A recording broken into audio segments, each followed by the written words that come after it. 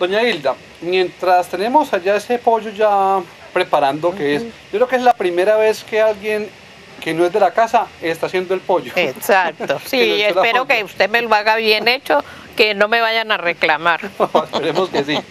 Con este café colombiano, ¿usted cómo hace el café? Cuénteme cómo lo hace usted. ¿Cuál es su técnica? Coladito en talega Lo pone en la talega y le deja y caer el agua le echo caer la agüita caliente. Es que todavía tengo una aromita por allá como perdidito, algo así Es- como a chocolate. No, como a no, no, cacao. no, no, no. No, no está mezclado con cacao, Ujú. sino que es que el café tiene aceites aromáticos y a veces tienen, a- a- o sea, como el vino, aromas de otras cosas que no son propias, pero, pero enriquecen.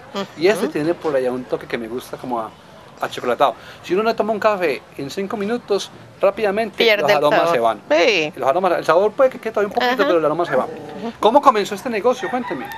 Pues mi mamá empezó, pero con sancochito. Sí.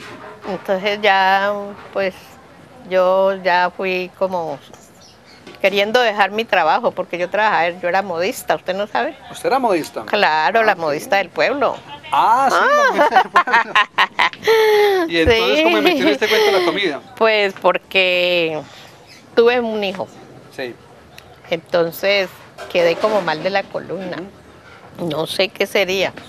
Entonces ya dije yo no, yo voy a acompañar a mi mamá porque me gustaba poco en la cocina, le advierto. ¿No le gustaba? No, a mí me llevaba mi mamá la comidita a la máquina.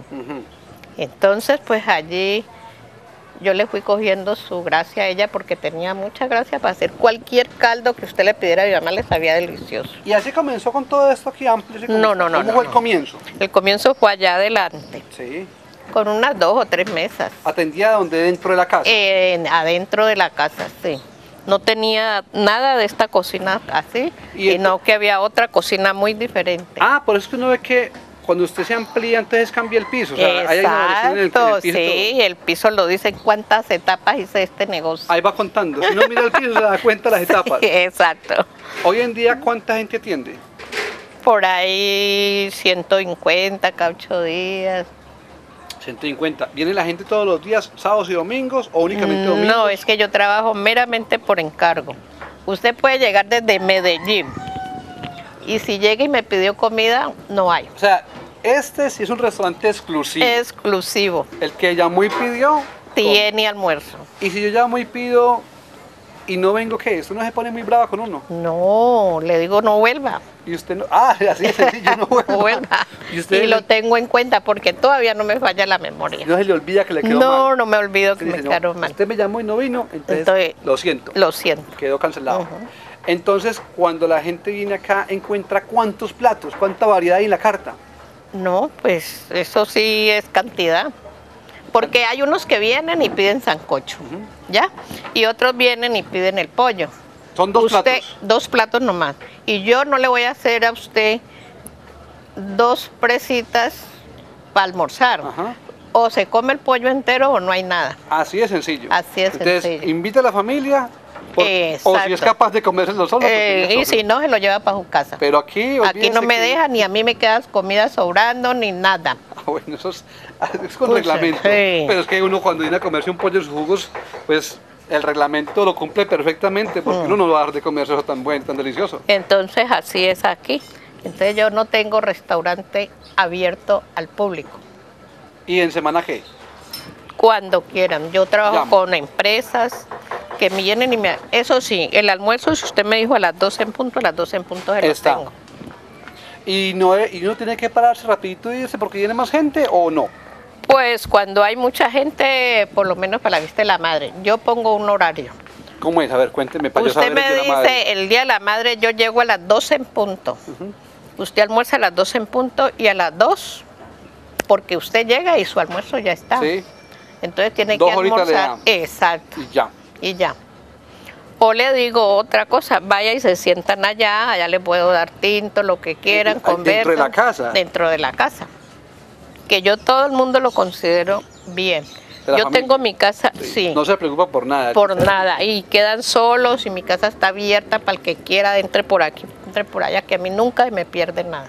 Ah, bueno, está perfecto. Excelente. La voy a dejar entonces Yo que siga con el- quiero a toda la gente que llega aquí a Me mi parece muy bien.